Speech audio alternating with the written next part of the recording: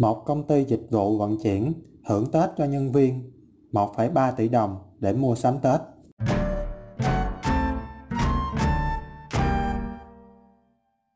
Năm ngoái, nhân viên của Evergreen Shopping nhận được khoản thưởng cuối năm trị giá 10 tháng lương.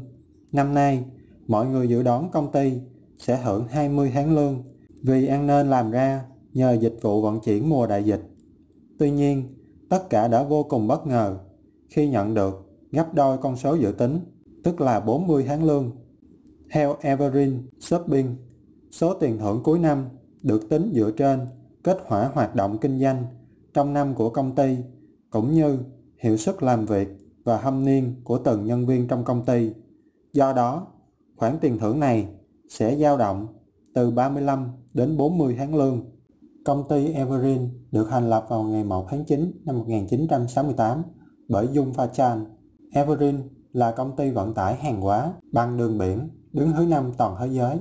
Công ty hiện sở hữu hơn 180 tàu lớn kết nối tới 240 cảng trên toàn thế giới tại khoảng 80 quốc gia và đem về hơn 4.000 tỷ USD vào năm 2018.